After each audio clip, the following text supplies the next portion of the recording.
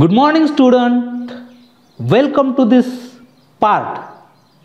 In this part of the number work, the chapter number second, we are going to introduce the seven digit number. As you know, the biggest six digit number is that 9 lakh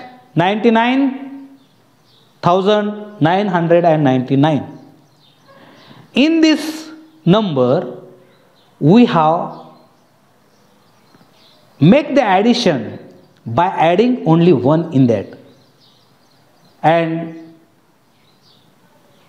by addition we get the number in the unit unit place 0 10 place 0 100 plus 0, 1000 plus 0, 10,000 plus 0, lakh plus 0 and 10,000 uh, lakh place is 1.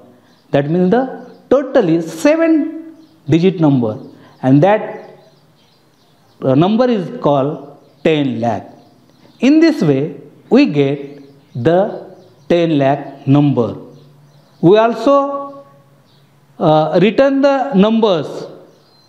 As we as we said that write down 27 lakh 65,828 in this way we have to write.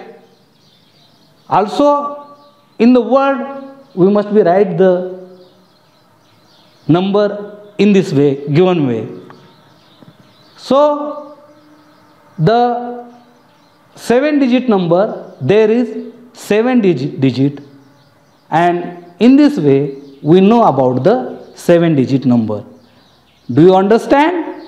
Okay, thanks a lot.